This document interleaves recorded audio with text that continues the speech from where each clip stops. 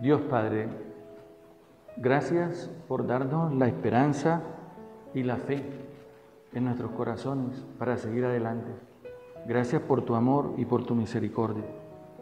La primera lectura nos enseña algo bien interesante. Una mujer que se llama Lidia está abierta a la acción del Espíritu Santo a través de la predicación que San Pablo está realizando.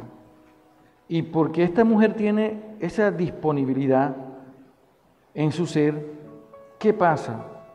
Después de recibir el bautismo, ella y toda su familia invitó a Pablo para que recibiera hospedaje en su casa.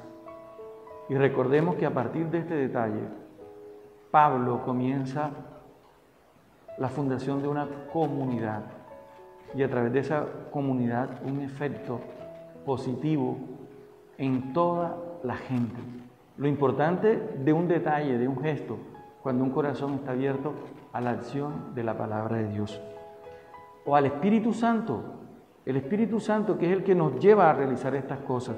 Y que Jesús hoy nos dice, cuando venga el Paráclito, que yo les enviaré desde el Padre, el Espíritu de la verdad que procede del Padre, Él dará testimonio de mí.